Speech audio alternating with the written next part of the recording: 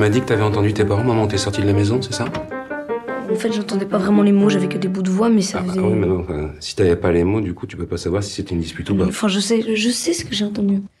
So, as you know, the autopsy report is uh, inconclusive about the cause of death. Stop. I did not kill him. That's not the point. Il parle de tromperie, I was honest about it. mais vous l'avez pas été l'année de sa mort avec cette fille avec qui vous l'avez trompé. Pourquoi? Il y a quand même quelque chose d'un peu étrange dans cette situation. Vous admettez qu'il était jaloux. No, I don't. No, no. À- Allez, écoutez-vous, on a l'impression que vous l'avez trompé continuellement. Quand il commence à se reprocher des trucs, moi, je préfère m'en aller. Tu peux pas me dire qui était le plus énervé des deux? Est-ce que vous pouvez nous dire à quoi il fait référence quand il parle du pillage de son œuvre? That's not true. Vous aviez déjà frappé votre mari?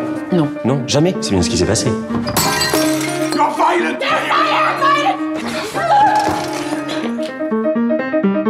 Pas pu les entendre s'ils parlaient calmement. J'ai confondu. T'as confondu.